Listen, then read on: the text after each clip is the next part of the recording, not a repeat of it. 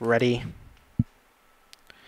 Awan Racing showing speed in the middle of the field was Simply Rich. Now mustering through was West on Bay to take the lead. In third of the three was Big Flash Unit. As they run into the first section, and West on uh, Bay is out in front by about five lengths now. And Big Flash Unit then followed by Simply Rich as they run into the home corner. And West on Bay is doing everything nicely. Out in front by six lengths now. And Big Flash Unit, Simply Rich, and West on Bay goes on to score by seven on Big Flash Unit and Simply Rich in a time at 23.01.